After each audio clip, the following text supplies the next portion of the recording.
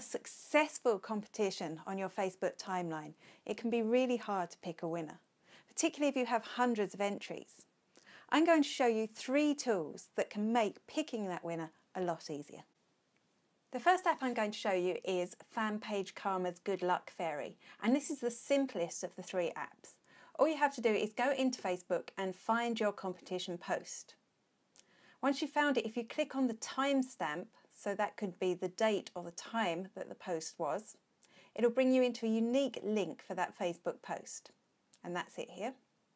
So you just need to select that and copy it, bring it into FanPage Karma and paste it in.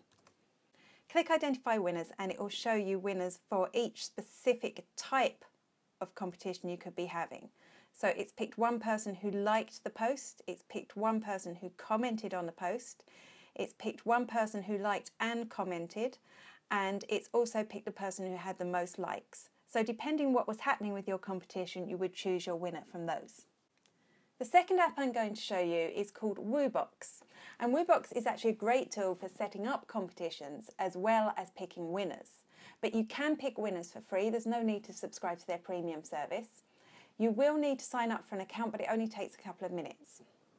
Once you have, if you click on Posts on the top menu bar, it'll bring in all the posts from the selected Facebook page. And then you can choose the one that you want to pick a winner from. And now I can choose what sort of winner I want. Do I want a winner that's just liked the post or do I want a winner that has commented on the post? I can also select both, that they have to like the post and comment on the post. And when I choose commenting on the post, you see it gives me this other option. Can people only enter once via a comment? Now click pick a winner. And here you go, you can see the winner in this case would be Catherine Fitzsimons.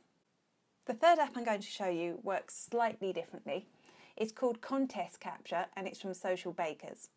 You will need to set up an account again, but it does only take a couple of minutes. Once you have, you need to select the page that you want to choose the competition from, and then you can select a post from that page. Now click Download CSV and it will download a file that I can open in Excel, which will show me all the people who have entered my competition. Then I can choose a winner from that data.